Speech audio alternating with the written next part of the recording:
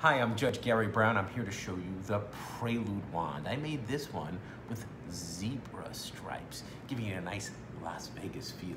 But like with any wand, you can show that your hands are absolutely empty. Your, your sleeves are rolled up, that there's nothing. But if you take one of those empty hands and make a fist, give it a little tap with the Prelude wand, and all of a sudden, speaking of Las Vegas, it's Las Vegas money.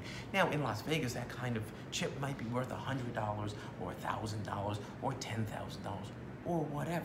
But the other thing we say about Las Vegas, in Las Vegas, easy come. Watch this. Easy go. That's the prelude wand. It's a prelude to something big. And speaking about easy, it's easy to make, it's easy to use, and it's just full of magic. Watch.